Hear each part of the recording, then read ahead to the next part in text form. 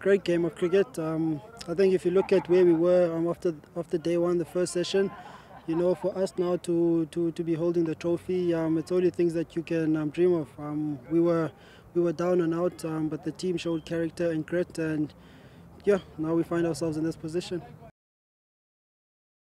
Yeah, there was a lot of commotion and chaos. Um, the weather also came, played its part with the rain, um, and we tried to stay as calm as, um, as we could. Um, obviously, tempers and tension were, were, were flowing out there, um, but yeah, we tried to stay calm, and fortunately, um, we, we, we with a, with a series of winners. Yeah, definitely. Um, we asked for the bowlers to, to step up. Um, of the first innings wasn't our greatest um, bowling effort, and the way the guys came in um, came in today, um, led by Malusi, Nandre as well, who came in with the forfer, and all the other guys. So um, great effort from them, especially here at Potch.